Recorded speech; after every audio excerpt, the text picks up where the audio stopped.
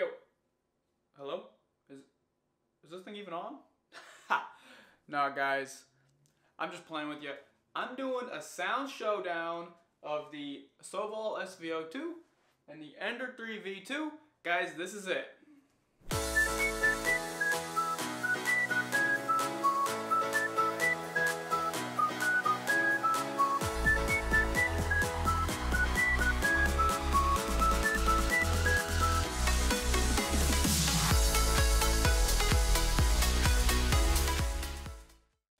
First test you guys are about to see, you guys thought you were getting away without it.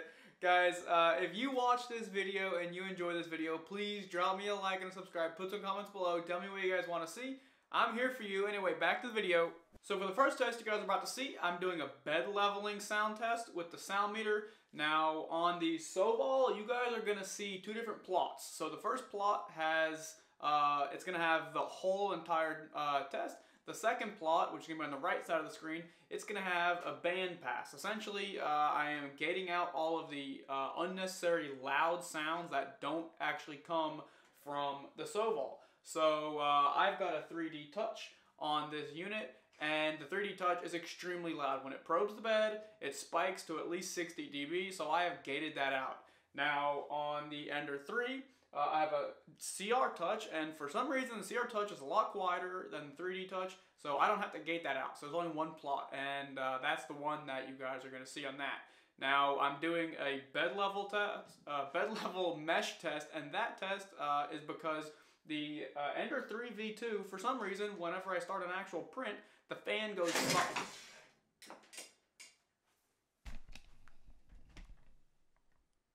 My cat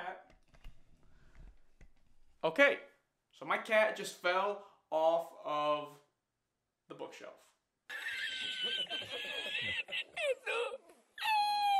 so on the Ender 3 V2, the fan actually goes silent when I start a print, and I have dug through the code, the G code, I can't figure it out. The fan goes silent, so I want a test where we can get max fan volume on both printers. The other reason I want to do a bed level test is because uh, the stepper motors on these printers are a lot faster uh, during this test than they are during an actual printing test. I know that I could get some G-code uh, that is going to make the stepper motors go crazy, but this is the best way to encompass everything in one test. Anyway, roll test.